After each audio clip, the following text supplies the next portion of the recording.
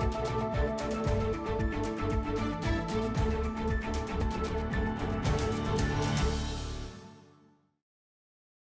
morning, Vikings. Welcome to your KVIKS Morning Bulletin. My name is Brianna, and here are your announcements for the last day of school, May 31st, 2018. Congratulations, Olympic athletes and unified partners.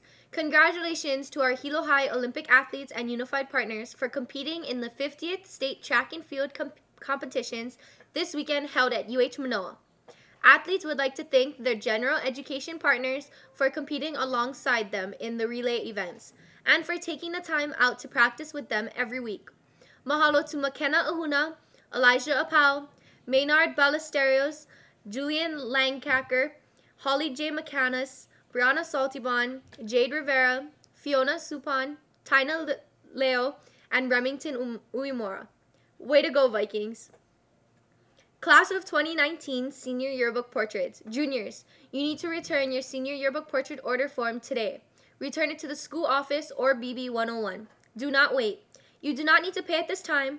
Reed Takaase Studios will call you to set up your appointment. Senior yearbook photos must be taken over the summer. If you did not receive a packet, come to BB 101. School year 2018 to 2019 cross country. All students interested in cross country next school year, please contact assistant coach Noelani McMahon for at 756-2932 to obtain a summer conditioning schedule. Today's menu. For weekday, it's cinnamon roll or breakfast quesadilla with pineapple chunks and orange wedges. Today's lunch is tuna melt on a bun with oven fries, house salad, and with a fruit slushy.